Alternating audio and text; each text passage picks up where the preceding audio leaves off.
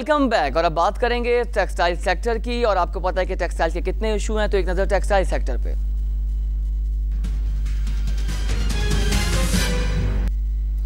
Textile industry सफ़र कर रही है इंसेंटिव देने की बात की गई लेकिन उसकी फ़र्स्ट इंस्टॉलमेंट भी में भी कुछ जो है बिलियंस देने की दिए गए गवर्नमेंट की तरफ़ से और कोई इंसेंटिव नहीं दिया गया वैल्यूडेशन नहीं किया गया इस पर मजीद बात करेंगे।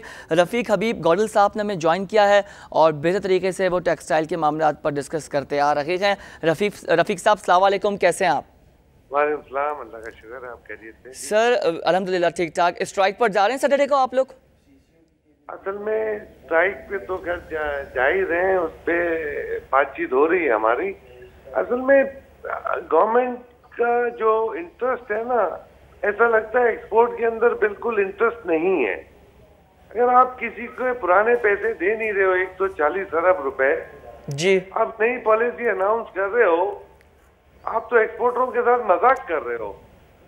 जब मेरे पुराने पैसे नहीं दे रहे हो एक सौ चालीस अरब टैक्स की मद में डीएसटीएल की मद में जो दो ढाई साल से फंसे हुए गवर्नमेंट के पास जी। तो नया एक सौ अस्सी अरब का पैकेज है उसमें से तीन अरब रुपए दिए अभी तक।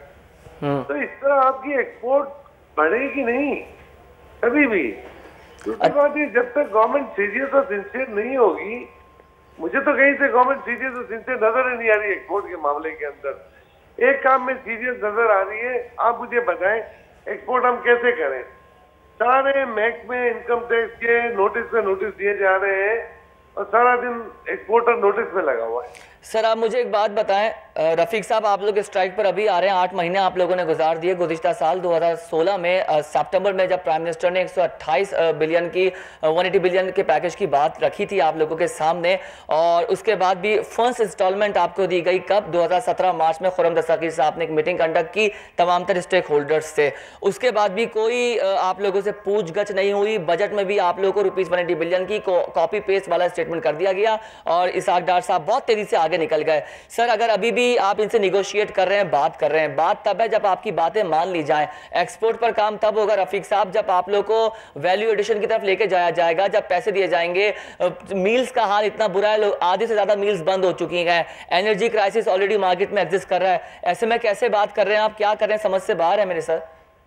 बात सारी है कि हर चीज़ ठीक हो सकती है अगर गवर्नमेंट सिंसियर हो। गवर्नमेंट कहीं से भी सिंसियरिटी नज़र नहीं आ रही है एक्सपोर्ट के हवाले से। अरे चार अरब, दो अरब रुपए आप दे दोगे तो आपकी क्या बीस बिलियन और पच्चीस बिलियन डॉलर की एक्सपोर्ट बढ़ जाएगी इन बातों से? और ये पैकेज पैकेज की हम बातें कर रहे हैं, भाई हमारे सेल्स टैक्स के रिफंड की एक सौ चालीस अरब रुपए पुराने तो दे दो। आप एक्सपोर्ट आपकी और डिक्लाइन होगी। आपकी इस पैकेज से कोई कोई बेनिफिट नहीं मिलेगा। हम कहते हैं हमें ये पैकेज नहीं दें। हमें जो लेवल प्लेइंग फ़ील्ड है इलेक्ट्रिक की और गैस की मत के अंदर जो हमारे रीजनल एरिया के अंदर कंट्रीज़ है सर टैरिफ से खुश हैं आप लोग? आप मुझे ये बताइए, जो गैस के और उसके इलेक्ट्रिक के बल के बिल के जो टैरिफ्स बढ़ा दिए गए वो भी इतने ज़्यादा उसमें नंबर्स बढ़ा दिए गए साथ में कॉस्ट ऑफ़ विज़िट इतना मुश्किल कर दिया गया इतना हार्ड कर दिया गया है और प्रोडक्शन हो नहीं रही है प्रोडक्शन हो नहीं रही, जब तो एक्सपोर्ट नहीं कर पा रहे डोमेस्टिक जो है डिमांड आती है, उसकी ऑर्डर्स भी लाइनअप पे लगे हुए हैं, वो भी फुलफिल नहीं कर पा रहे। टाइम पे टाइम दिया जा रहा है, तमाम स्टेक होल्डर्स परेशान बैठे हैं।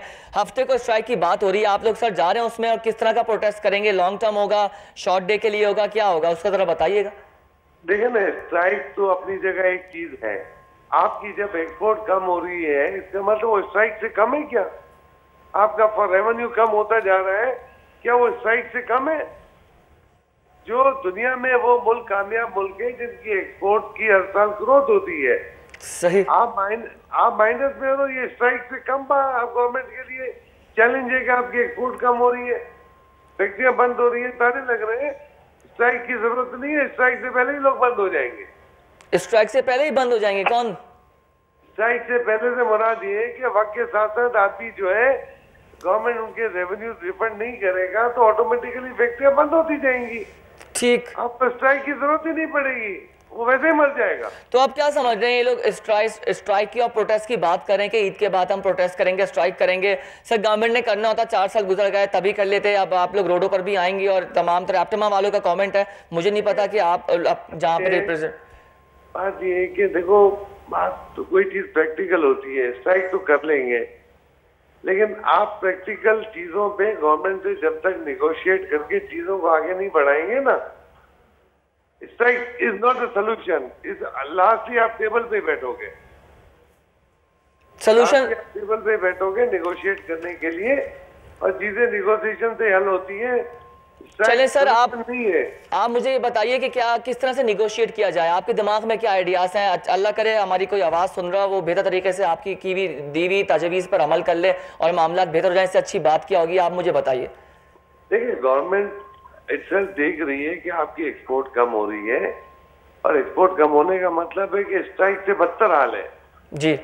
ज़ाहिर बात है एक्सपोर्ट कम हो रही है तो फैक्ट्रियाँ बंद ही हो रही है ना ताले लग रहे हैं ना।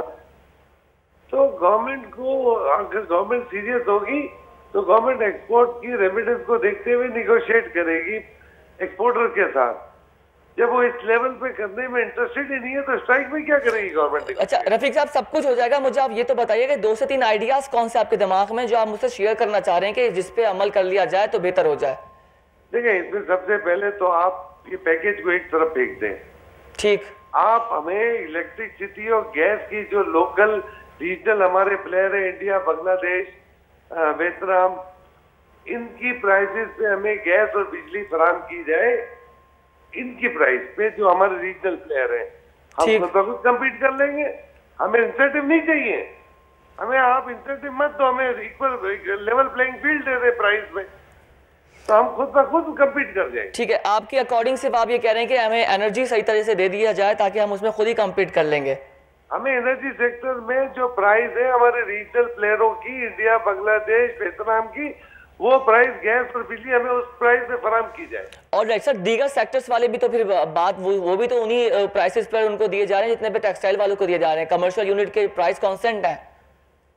देखिए आपकी हमारा जो एक्सपोर्ट एक्सपोर्ट ओरिएंटेड यूनिट है हम उनकी बात कर रहे हैं। ठीक। और पाकिस्तान में टेक्सटाइल 80 परसेंट जो कॉटन उगती है 80 परसेंट एक्सपोर्ट होती है। जी बिल्कुल। 20 परसेंट लोकल कंजम्पशन है। ठीक। ठीक है ना? तो हम तो एक्सपोर्ट ओरिएंटेड फैक्ट्री की बात करें टेक्सटाइल सेक्टर में। ठीक है। लेवल प्लेइंग फ़ील्ड दे दे सर एक्सपोर्ट्स पे बैरियर लगाए गए तो एक तरफ़ आप एनर्जी की बात करें जब प्रोडक्शन होगी तो जो स्टॉक जो माल होता है वो एक्सपोर्ट किया जाएगा। वो तो कह रहे हैं जी ठीक है हम दे देंगे। फिर अगर वो एक्सपोर्ट में कोई दूसरी पॉलिसी लगा लेते हैं और जो आप लोगों के लिए प्रॉब्लमेटिक होती है ठीक है एनर्जी से आप सॉर्ट आउट हो गए। तो गवर्नमेंट की पॉलिसी से आप कैसे बचेंगे आप मुझे ये बताइए। आप एक तरफ़ बोले एक्सपोर्ट पे आप बात करें। फिर आप कह रहे हैं कि मैं एनर्जी उस पर कम कर दी जाए तो हम कर लेंगे। नहीं मैंने बड़ी सिंपल और सादा अल्फाज में बात कही है कि आपके रीजनल जो प्राइसेस हैं गैस की और बिजली की और पानी की हमें उस प्राइस में गवर्नमेंट प्रोवाइड करे तीनों चीज़ें इंडिया बांग्लादेश श्रीलंका की जो प्राइस है वियतनाम की। हमें इंसेंटिव ना दे। मैंने बड़ी सिंपल सी बात बता दी आपको जिससे हम लेवल हम इसको कम्पीट कर लेंगे आपकी एक्सपोर्ट बढ़ जाएगी। बहुत सही अच्छी तरह बढ़ेगी। ठीक। अच्छा सर, आप इंसेंटिव की बात नहीं करें लेकिन जो दीगर आप लोगों को रिप्रेजेंट करते हैं, आप जमा के जो हमारे कुछ हजरात हो गए, कुछ पर्सनालिटीज हो गई दे वॉन्ट जी इंसेंटिव भी चाहिए। क्योंकि वैल्यू एडिशन की तरफ़ आप पैसे के बगैर नहीं जा सकते। मशीनरीज जो हो गई हैं, वो मॉडर्न नहीं है। उनको आप कंपेयर करें जो इंटरनेशनल कंपेटिटिव मार्केट में भी आप उसको देखें, वो इतनी वैल्यूबल नहीं है। और आपके यहाँ सबसे जो आम इशू जैसे आपने खुद डिस्कस किया एनर्जी प्रॉब्लम है। कॉटन का भी बड़ा इशू है सर सिल्क का और जो धागा जो बन रहा है, उसके भी बड़े इशूज हैं। रॉ मटेरियल की क्वालिटी भी बेहतर नहीं है। ऐसे में एक्सपोर्ट भी तो करने के लिए आपको अपना जो मटेरियल है, उसको मार्केट में अवेलेबल रखना क्वालिटी के साथ ज़रूरी है। देखिए बात सारी ये है कि आपने जो डिस्कशन की उसका सबसे अच्छा और आसान हल है जितने हमारे और भी जो चेयरमैन है टेक्सटाइल के वो सब इसी प्लेटफॉर्म पे बात कह रहे हैं कि हमें इंसेंटिव फ़ौरन मिल जाएगा ना बिजली की मत में अगर आप बिल कम आएगा या गैस की मत में। अभी हम गवर्नमेंट को अप्लाई करते हैं हमें छह आठ महीने में पैसे मिलते नहीं है इंसेंटिव हम्म। अब चार अरब रिलीज़ किए बिजली में तो हमें सेम मंथ में मिल जाएगा गैस में सेम मंथ में मिल जाएगा प्राइस इंसेंटिव तो हम रीजनल प्राइसेस मांग रहे हैं। सही। हम कहीं हम कहीं नहीं कहते कि हमें आप कोई प्राइस पे इंसेंटिव दो। हम कहते हैं जो प्राइस इंडिया बांग्लादेश श्रीलंका और वियतनाम में हमें वो प्राइस दे दे बिजली और गैस की। हमें कोई इंसेंटिव ना दे। सर फिर आप दूसरे कंट्री से कंपेयर करें ना तो वहाँ सिस्टम और वहाँ मामला डिफरेंट है। वो सेम प्राइस में एक्सपोर्ट के नंबर को देखते हुए नहीं करेंगे। आपको पता है सर एक्सपोर्ट हर सेक्टर की सस्टेन और सर्वाइव कर रही हैं। जो नंबर्स हमने गुजशत दो साल में एक्सपोर्ट के देखे, बहुत बदतर है। आपका एक्सपोर्ट बिल आपके एक्सपोर्ट नंबर्स बहुत डाउन हो चुके हैं। आपका सारा आपसे मुराद आपकी गवर्नमेंट हमारी गवर्नमेंट का सारा दारो मदार सिर्फ़ इम्पोर्ट पर है। देखिए, हमारी एक्सपोर्ट जो टेक्सटाइल की थी, दो साल पहले चौदह बिलियन पे थी। आज गिर के ग्यारह बिलियन हो गई और और हमारी पच्चीस बिलियन थी, बीस बिलियन पे आ गई है दो साल में। अब इसको रिवाइज करने का रास्ते यही है कि आपने इंसेंटिव नहीं देना है। आपने लेवल प्लेइंग फ़ील्ड देनी है गैस और बिजली की मत के अंदर। ठीक।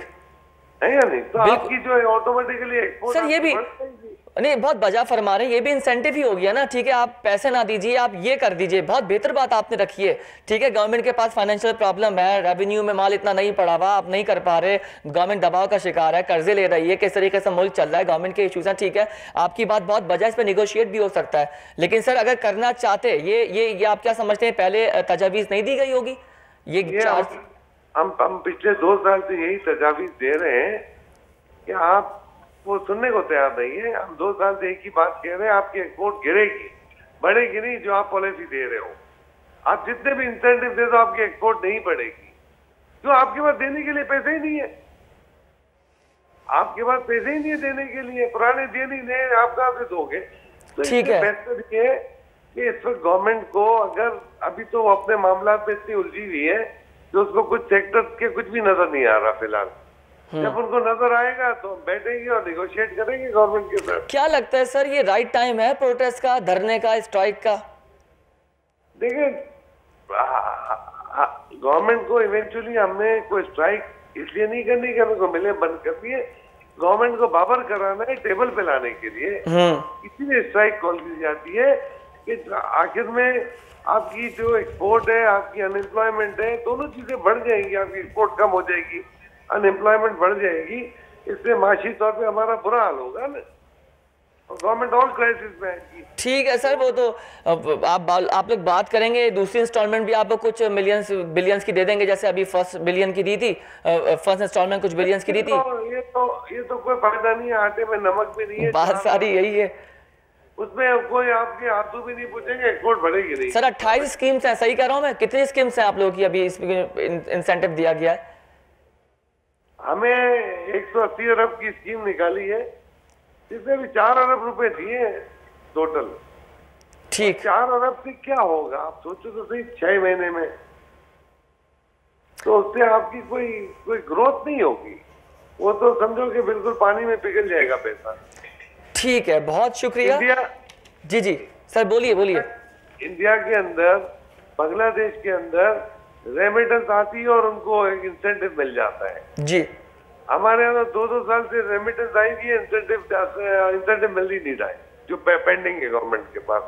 अब देखो ना वहाँ की पॉलिसी है ना इंडिया बांग्लादेश की वो फ़ौरन नेक्स्ट जैसे पेमेंट आती है उसके साथ इंसेंटिव मिल जाता है। रफीक साहब बात ये ना देखिए कंट्री का अपना इंटरेस्ट होता है। अगर आपको याद होगा बांग्लादेश इतना, इतना जो इस वक्त चीपेस्ट है इंडस्ट्रीज़ के हवाले से आपने जो आप क्यों बात कर रहे हैं बांग्लादेश इंडिया की? इसलिए कि जो इंडस्ट्रीज़ अगर टेक्सटाइल के नंबर्स और जो चीज़ें वहाँ पर बेहतर हैं वो पाकिस्तान में ज़्यादा हैं। आपको याद होगा चार साल पाँच साल पहले इतना बुरा हाल हो गया था। यहाँ के लोग जो एसोसिएशंस वाले थे जो ऑनर्स थे मिल्स के वो ये कह रहे थे कि हम जो है बांग्लादेश जा रहे हैं अब हमसे नहीं बर्दाश्त होता। किसी तरीके से उनको रिटेन किया गया। हम भी ये सरकार से यही दुआ करेंगे कि एटलीस्ट अपने लोगों को रिटेन करें रोक के रखें ताकि यहाँ पर अगर इंडस्ट्रीज़ के जो लोग हैं वो वहाँ पर लगाएँगे तो उनके लिए उनके कंट्री के लिए बेनिफिशियल है।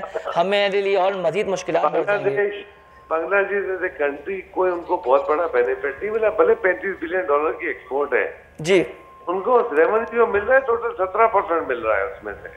तो सारा इम्पोर्ट है सत्रह परसेंट चलें सर बहुत बहुत शुक्रिया रफ़ीक हबीब साहब आपका और लेट्स सी जो गवर्नमेंट है वो वाकई सीरियस नोट पे टेक्सटाइल सेक्टर को देखे बहुत सरवाइव कर रहा है बहुत बुरी हालत में इस वक्त अगर मैं तमाम सेक्टर्स को देखूँ ना सबसे बदतर हाल टेक्सटाइल का है। स्टॉक में भी सबसे ज़्यादा लिस्टिंग टेक्सटाइल की है अनफॉर्चुनेट स्पिनिंग वेविंग का वो हाल है बद से बदतर हो गया है और ताले लग चुके हैं बिल्कुल सही बात कर रहे हैं। बहरहाल स्ट्राइक पर जा रहे हैं एप्टोमा वालों का वाजे मौका मौकफ आ गया एप्टोमा के साथ तमाम इंस्टीट्यूट भी है, वो भी ऑन बोर्ड आ चुके हैं एप्टोमा वालों के साथ। सैटरडे का ये लोग कह रहे हैं और ईद के बाद मजीद जो है, इसको जो सिटीज़ में अनाउंस कर दूँ, लाहौर, कराची, मुल्तान, फैसलाबाद, पेशावर में जो है slogans against the hostile attitude of campaigns campaigns बनाएँगे बाकायदा तौर पर। और तमाम शहरों में स्ट्राइक होगी ताकि जो है सरकार पर दबाव डाला जा सके। कि एक तो इंसेंटिव देने की बात की गई, उस पर भी जो है कह रहे हैं लॉलीपॉप दे दिया rupees one eighty one eighty billions की बात की थी, और चार अरब रुपये दे दिए, उसमें भी अट्ठाईस स्कीम्स फॉलो कर रही हैं, कहाँ लगाएँगे? और छः महीने में पूछते हैं, जी, आप हमें आउटपुट दे के बताइए। तो फिर प्लस ये बात कह रहे हैं, जी एनर्जी के कुछ बिल्स में हमें देख लीजिए। जी लाइव वाइट से सेगमेंट को रैप अप करेंगे वाइंड अप करेंगे, और कल आपसे फिर मुलाकात होगी। और पाँच बजे के बाद आप हमारी खसूसी रमज़ान की ट्रांसमिशन देखिएगा। देखते रहिए बिज़नेस प्लस